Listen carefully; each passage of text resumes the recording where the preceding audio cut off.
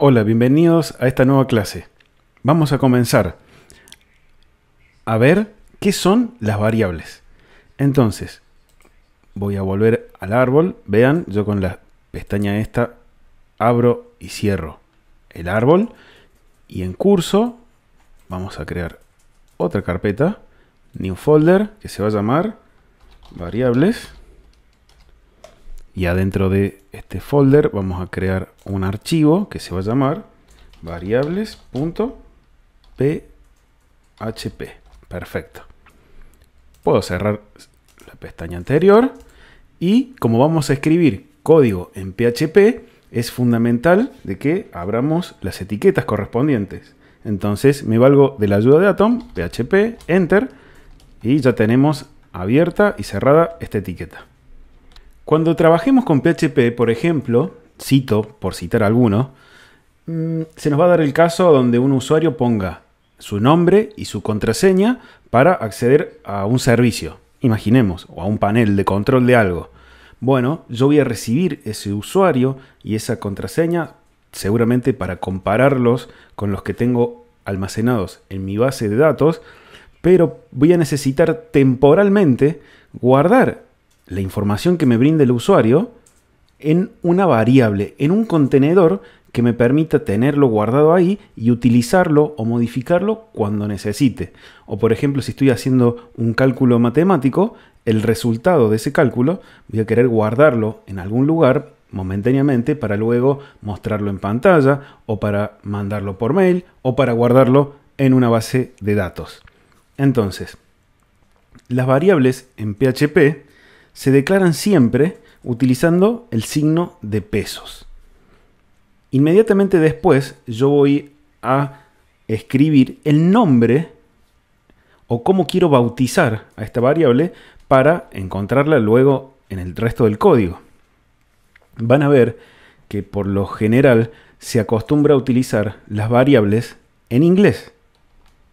Pero es más que todo para que las cosas estén más unificadas y podamos trabajar en grandes comunidades, en definitiva, para que nuestro código sea más compatible con el mundo. Pero no tiene nada de malo utilizar variables en español.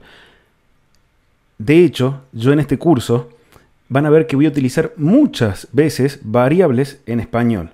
Por ejemplo, voy a poner acá como variable mensaje se va a llamar.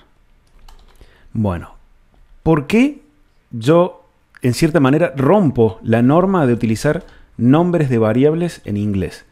Bueno, lo primero que tengo que saber es que no estoy haciendo nada grave. Lo segundo es que yo tengo que elegir un nombre que represente lo que voy a guardar adentro.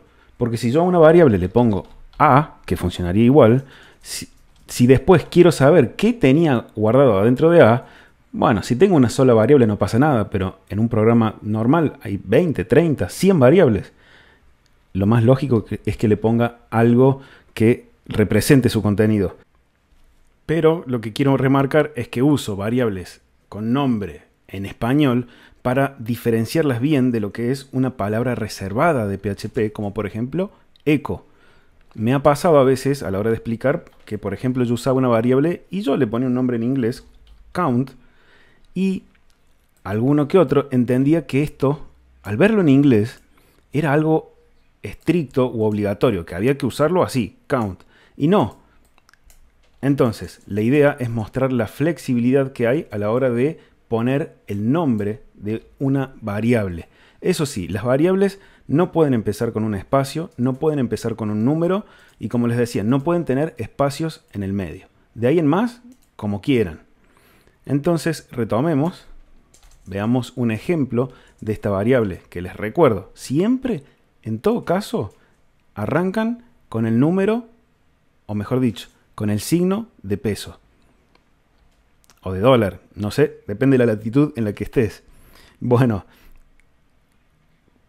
¿qué podemos guardar en una variable?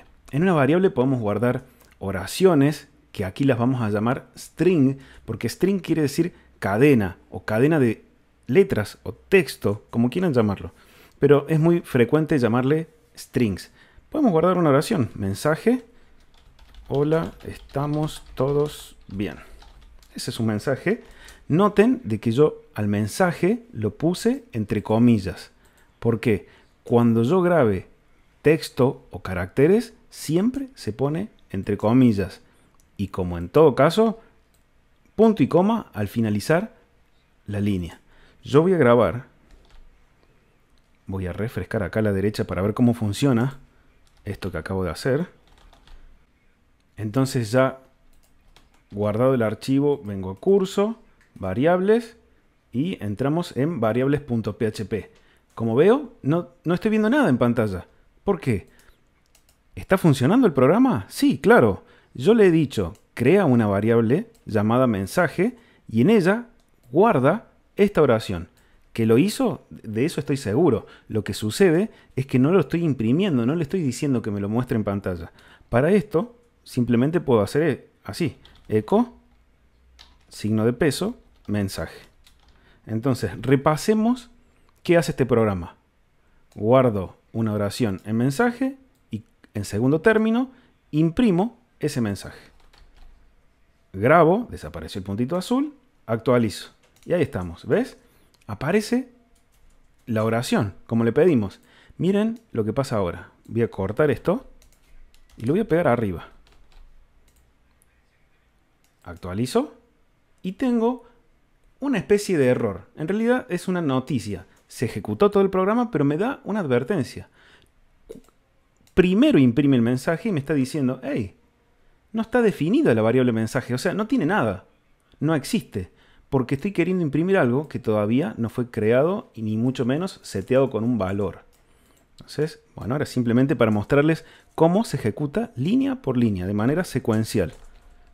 Bueno, lo volvemos a dejar abajo y volvemos a probar, todo funcionó. Entonces, acabamos de aprender qué es una variable que es capaz de contener información y acabamos de ver cómo podemos grabar información de tipo texto o strings. En las próximas clases vamos a ir viendo cómo podemos grabar otro tipo de valores adentro de una variable. Muchas gracias y nos vemos en la próxima clase.